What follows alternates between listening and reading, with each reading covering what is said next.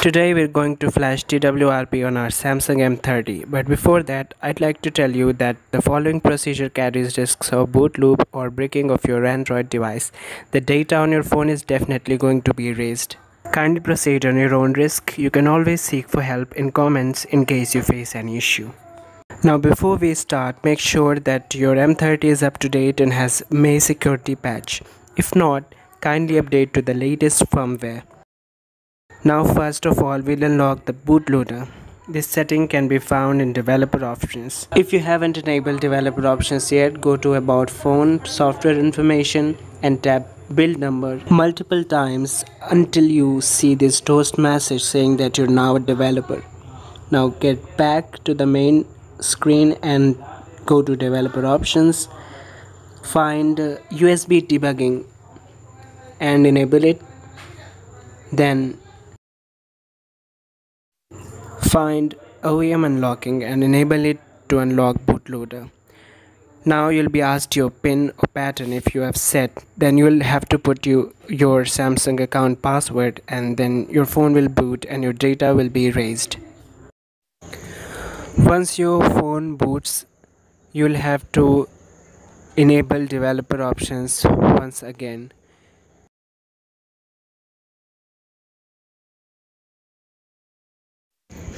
You would also have to enable USB debugging once more.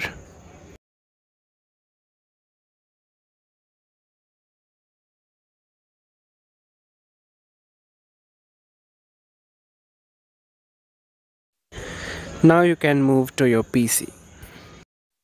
On your PC you would need Odin file, TWRP, for M30 in TAR format and make sure the ADB is properly working and uh, the Samsung drivers are installed.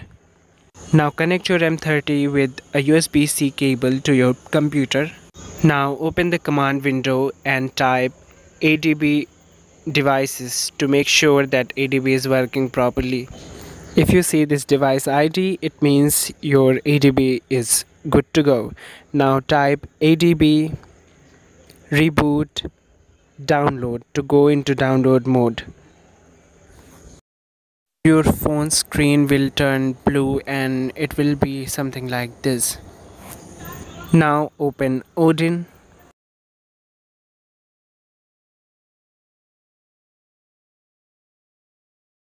This bar shows that your phone is connected. Go to options. Make sure to untick auto reboot and repartition. Now select AP slot.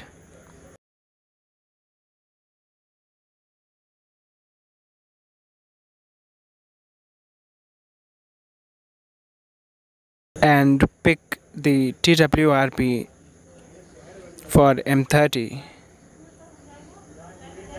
It will be in tar format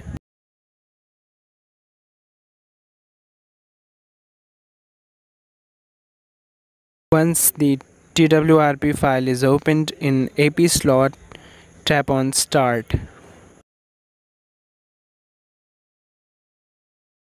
you will see this pass message over here that confirms that the TWRP has been successfully flashed now let's get back to our phone. Your phone would be in download mode with this sky blue screen.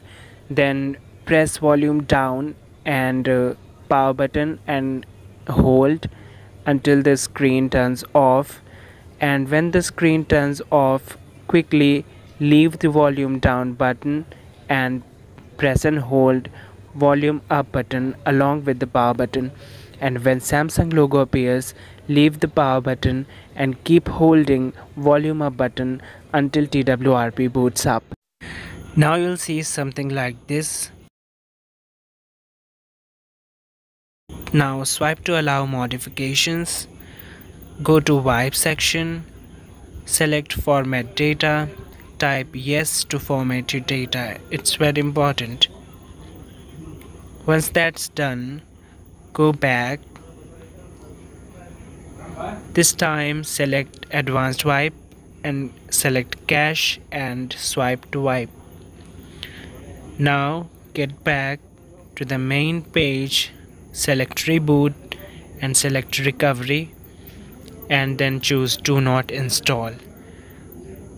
Now your phone will reboot into recovery. Now in recovery tap on install select dmverity disabler zip and flash it this is also another very important part of this whole procedure. Now we'll again reboot to recovery and not into the system.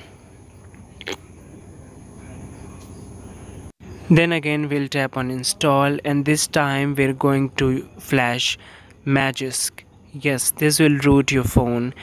And in my case when i did not uh, flash magisk my phone didn't boot up it just didn't go to system at all. After flashing magisk you can reboot your phone to system. And uh, after taking a little bit of time it will boot up